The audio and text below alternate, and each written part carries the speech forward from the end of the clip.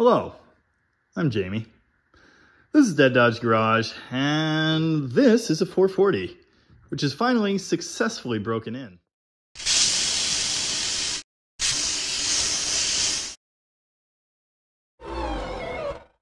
This is the fifth and final installment in this saga. I actually built this engine on the channel for a video, how to assemble a Mopar Big Block, which has gotten quite a bit of attention. I then decided at the last minute during the first break-in to use it as the subject of a different video. How to break in an engine, what to look for. Ironically, during the filming of that video, we wiped out a and lifters. This is funny because it's never happened to me before. Building Mopar engines is something I get to do a lot. I really enjoy it. I'm not exactly an expert, but I know a thing or two. So you can imagine my shock and disbelief and pure unadulterated sadness when this engine failed on the stand. That wasn't a proud moment. Of course, as I do with everything else on this channel, I put my failure on display for everyone to see, which is fun. Now, the truth is though, I actually learned a lot. So I wanted to do one more episode and kind of wrap that all together. If you can learn from the hard lessons I've learned, well, that's a thing worth doing. So let's cover that. There's a lot I didn't say in earlier videos on this engine. I've gotten a lot of comments and questions covering things I'm well familiar with, but I don't know, sometimes I come from a place of, yeah, everyone knows this, and they really don't. I'm going to try to fully inform you on what I did and what you need to do to prevent this in the future. A lot of people want to narrow this down to one single problem, one failure. The thing is, there are a lot of possible failures. There are a lot of moving pieces here. A lot of factors you might not even consider. Almost exclusively, the engines I build live in stock land. Very mild camshafts. There are exceptions. Sometimes I build cool stuff, but usually it's, you know, stock 318s or barely warmed over 360s or bone stock 440s. I feel like in the world I usually live in, there are certain things I can get away with. And to this point, I always have. It's really not true. When you're building an engine, you need to check everything. Every single thing. Now, I've said that on video before, but the thing is, there are more things to check that I'd never even thought of. Namely, lobe taper and crown machining on all of your lifters. I am not a machinist. I don't have precise measuring equipment. If you're watching this video, you probably don't either. So you might want to have a machinist do this for you. But every lobe on your camshaft needs to have the correct taper ground into it. Ditto the faces of the lifters. They need to have the correct crown to match.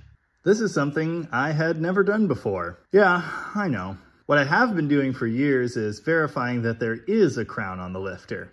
You know, setting it against a flat surface or against another lifter and just making sure it's not machined flat. I figured this was sufficient. It's not. Did I mention I'm not a machinist? Well, I'm not. And I can't tell you what these measurements need to be. Hopefully your machinist can, or maybe you need to get a different one. Suffice to say, your cam lifters need to be verified.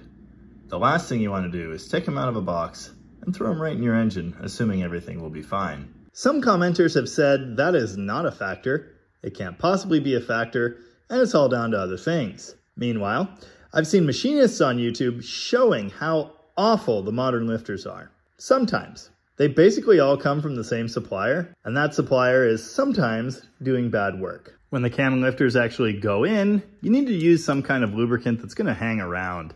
I've used that red stuff for a long time, you know, from that company that rhymes with Stomp. And again, I'd never had a failure, but on the one that I did, that's what I was using. I've had a lot of different recommendations on this.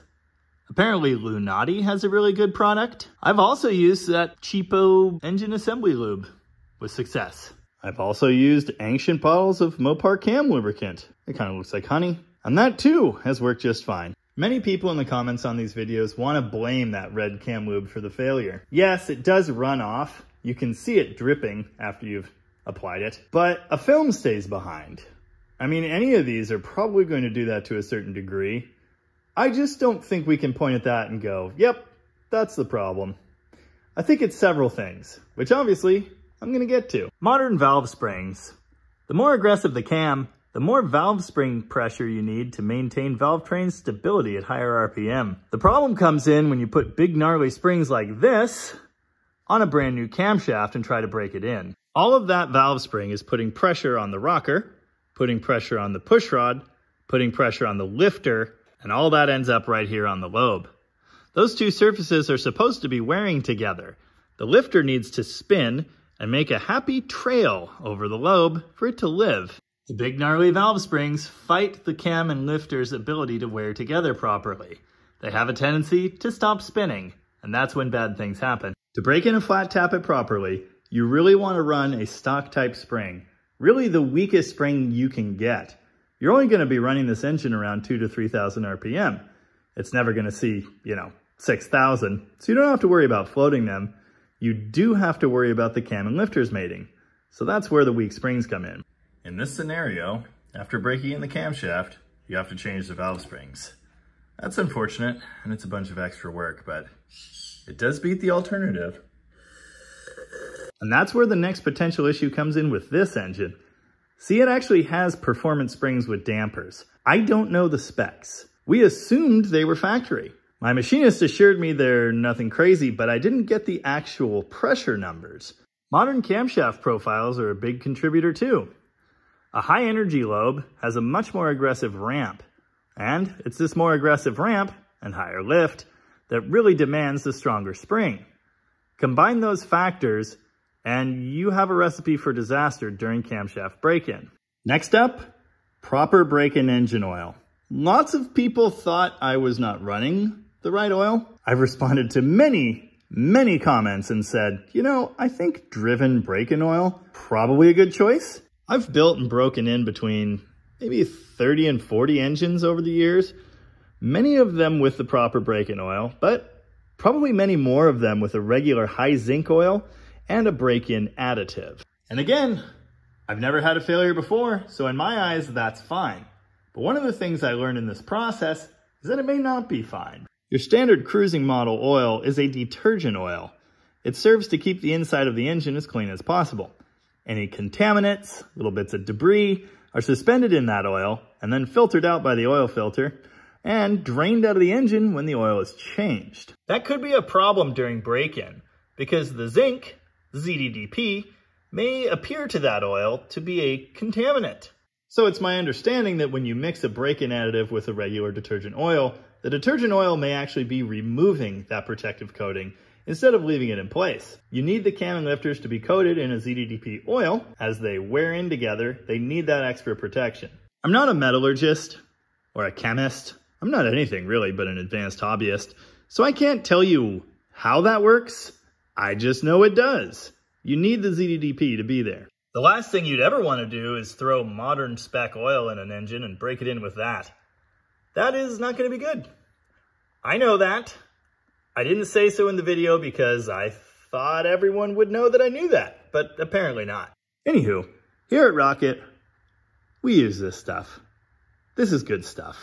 And as mentioned in the engine build video, I pre-lubricate every one of these before they ever run. But there's another factor to oiling during engine break-in I hadn't even considered, and that's splash oiling. My entire understanding of the purpose of the break-in period, where you hold the engine at a higher RPM than idle for 20 to 30 minutes, was so the lifters would spin.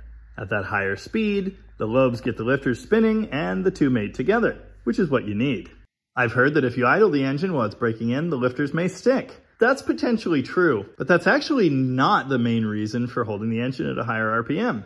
Inside your engine, there is no oiling on the camshaft directly. There's oil fed to the cam bearings, as with all the other bearing surfaces, and there's oil fed here, into the lifter bores. That's to lubricate the lifters as they move up and down, and if they're hydraulic lifters, they get their pressurized oil through there as well. But there is no direct oiling to the camshaft itself.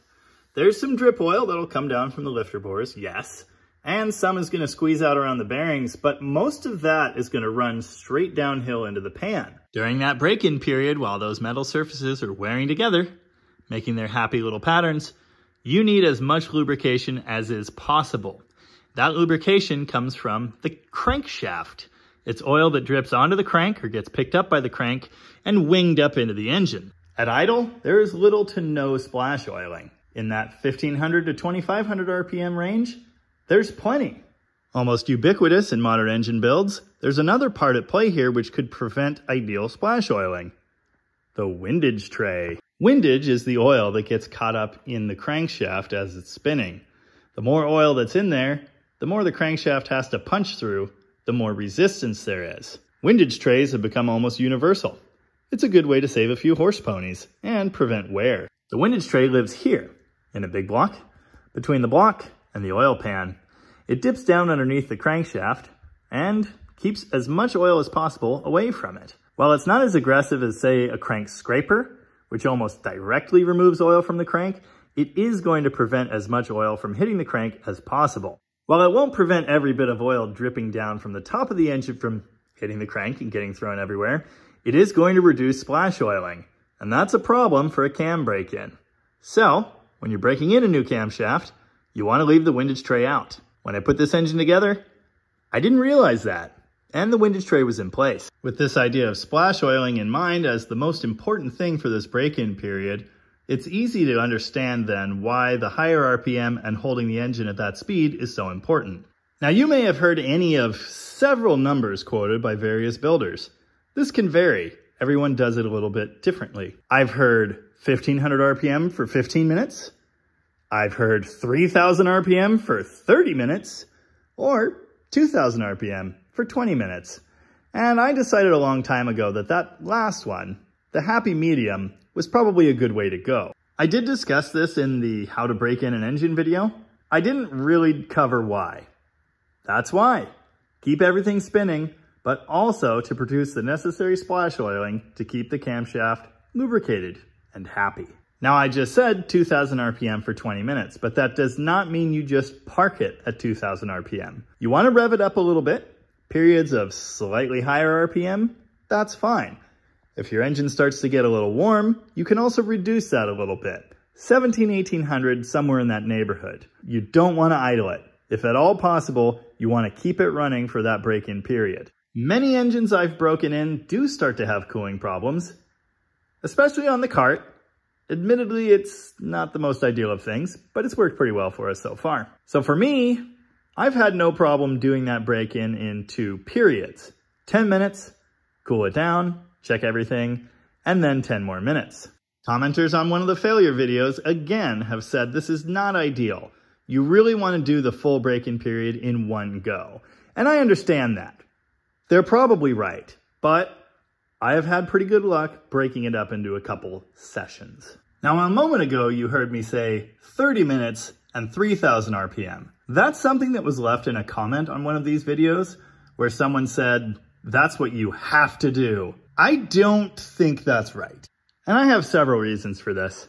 For one thing, the general consensus seems to be 2000 RPM is fine. For another thing, I don't think you can park an engine at 3000 RPM for 30 minutes sitting still, even in a car with a perfect cooling system, and not have cooling problems. Maybe I'm wrong, but if we were to attempt that here, especially this time of year, nothing good is going to come of that. On our successful break-in on this engine recently, we saw temperatures as high as about 224 degrees. It didn't really concern me. I was more concerned with having the cam and lifters live. Obviously, if your engine tries going thermonuclear during break-in, that's not good. You're going to want to shut it down. But if possible, just hang tight and let it break in. I am not an expert. I'm just some guy, but I'm some guy who's done a good few of these engines. I think 2000 RPM is fine. And I think 20 minutes or so, also fine. Going back to cooling for a minute, before you ever start your break-in, you really want to burp the cooling system. You want to get as much air out as possible. You really don't want the thermostat sticking shut and the engine flashing up to like 300 degrees before the thermostat finally opens and coolant circulates. You also don't want it freewheeling out of your radiator. Been there, tried that. Burping your engine before starting it is really simple. It's something I do on any job where I've touched the cooling system. New engine, head job, water pump, doesn't matter. You just need to leave a spot for the air to escape. You can leave a hose off, or you can reach into the thermostat with a screwdriver cockeye the guts in there, fill the engine till the coolant reaches that level, and then put it back, or put your hose back on. You can use a plug, That works fine, but often it's way more trouble than it's worth to take the plug out. In that same vein, when you're starting a brand new engine, you want it to be ready to light. You do not want to have to crank it excessively. Subsequent cranking is just going to serve to wipe that lubricant off of the cam lobe and the face of the lifter. You want your ignition timing set roughly where it needs to be. There's an art to this, and honestly, I'm not really the master of it. I always end up tweaking the timing after or during a first start attempt. You want your carburetor to be in known good working order, and you want the bowls to be filled before you ever try starting the engine. We use this Carter carburetor, which is not perfect, but it's reliable. And we use an electric fuel pump to pre-fill it. After you've successfully broken in your engine, and there are no horrible rattling noises, you want to avoid excessive idling. Ideally forever, but especially while the engine is fresh. You don't want to let it sit there and idle to warm up all morning. Excessive idling just serves to undo all your hard work on the break-in. It's the best opportunity for your lifters to stop spinning and wear themselves and the cam to pieces. Avoid unnecessary idling as much as possible. Now there are other important after break-in steps. For one thing, changing the oil. Some people are a little more serious about this than others. They'll drain the break-in oil right after breaking the engine in and change it, and then drain it again in 100 miles, and then drain it again in 500 miles. I usually don't take that approach. I will usually run the break-in oil for the first 100 to 200 miles, and then I'll change it.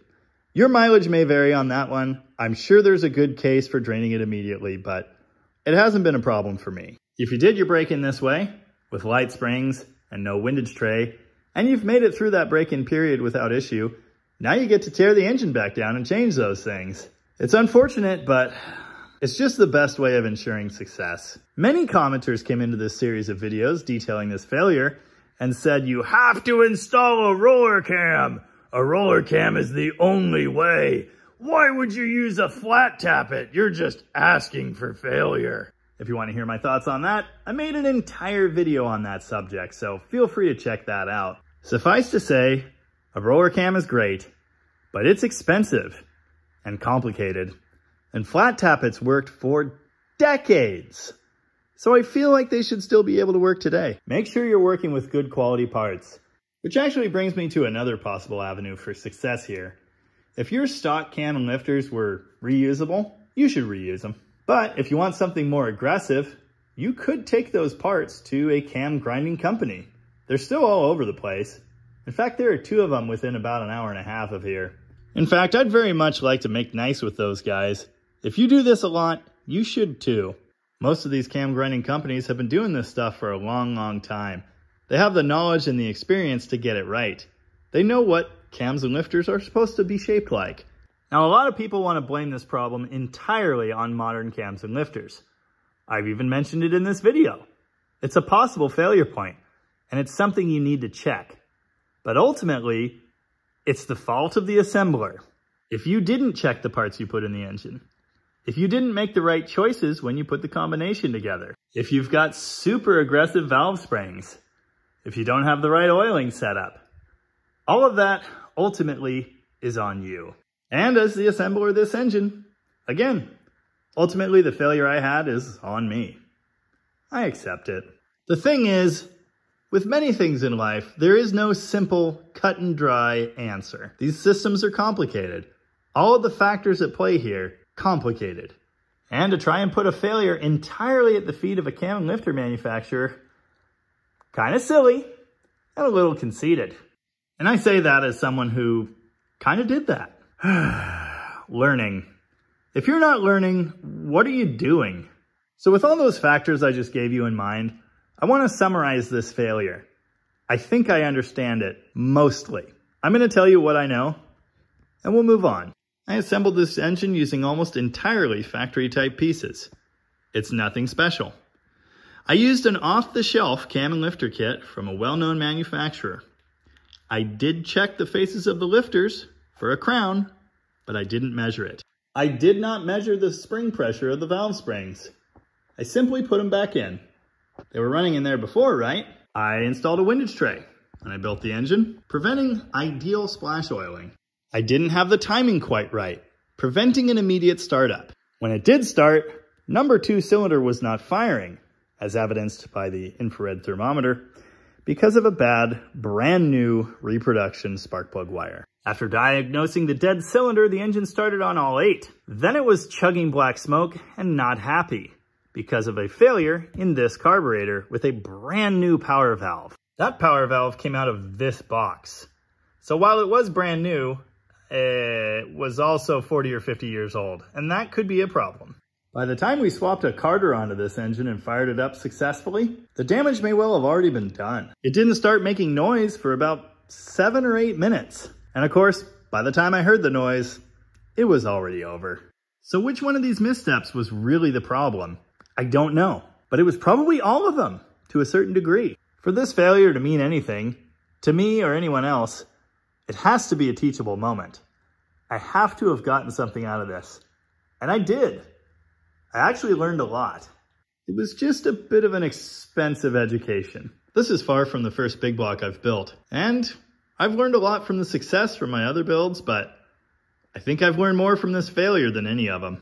Hopefully it's helped you learn something too. And that's all I have to say about that. No, I really think it is.